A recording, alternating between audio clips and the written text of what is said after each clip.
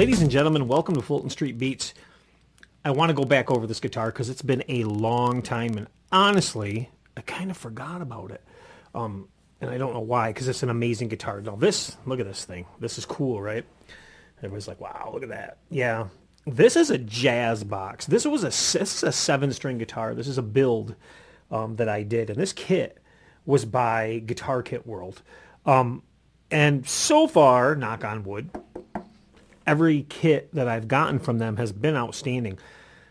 This is a freaking awesome playing guitar, really awesome. Um, and I had my doubts on this because I mean, we got this big fat. I mean, this is a big fat guitar with a big fat neck. Look, I mean, look, look at this. Do you want to get up on these high notes? You're struggling. You're coming up and over the top, but it's so cool. It's just I wanted to build this with an, you know, a like a 19 30s, late 30s vibe. You know what I mean? I wanted that vibe, and I think I come across it without relicking it, just giving it that raw look.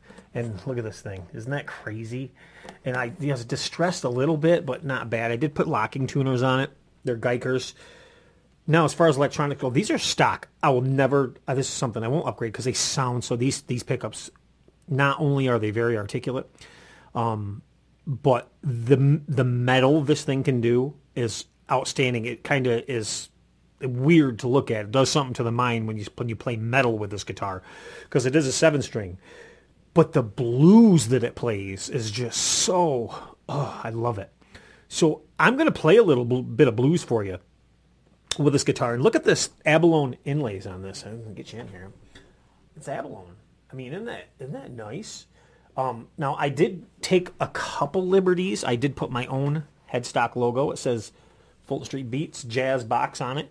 Uh, of course, I did do the locking tuners. They're custom locking tuners. And I did um, do this little poker chip around here.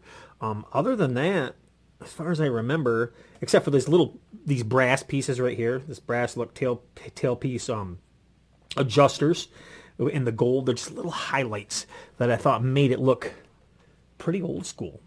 Um, but the seven string aspect of this is so cool because I'm going to play something. Hopefully it conveys. Isn't that crazy? The action is super, super low on this.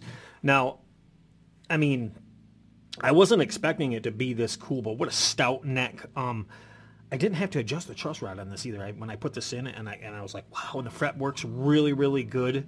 Um, but it's nerve wracking doing a set neck in a, in this style guitar because well, I mean, it's a it's a hollow body. I mean, it's a hollow body guitar. But you got to get used to a seven string, and definitely got to get used to it. Um, so low string is tuned to A. So man, but so cool, such a cool guitar. So without any further ado, let's get into that. What's I forget what this thing ran. I'll try to leave a link in the description if they still have them. Um, but Guitar Kit World, yeah, they always blow my mind when I get a kit. And the thing is this, you have to put the work into it. I mean, it's only going to be as good as you are in the end. Um, they're kits they're not ready to play. Um, you're going to have to adjust things. You're going to have to, mostly for the most part, adjust your necks. You, although I didn't have to on this one, but most of them you do. A lot of them you have to do fret work too. They're kits. These aren't guitars that you think, oh, it's like a model and it's a snap together and you're going to play with it afterwards. No, this is a kit. It's it. They're made to give you the opportunity to learn how to build a guitar, set up a guitar, and do it right.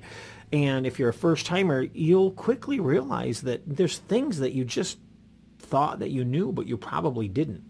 And um, with a hollow body, it was no exception.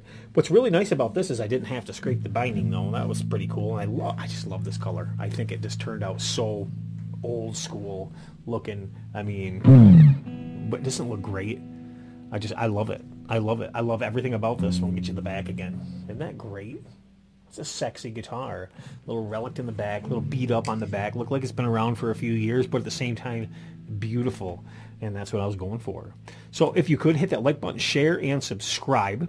And here's that track. This blends nicely. I think this is a great sounding guitar. And what I'm going to use, I'm just going to play with this microphone right here. I'll put it over next to the amp. And I'm using my web webcam, so I'm not going to run this through my DAW. And just, just to show you how clean it sounds no matter what you do. This guitar, it's a great sounding guitar. Okay, guys, here it is. I'll see you soon. Hit that like button, share, and subscribe. And remember, it's rock and roll that makes the world go round. Peace.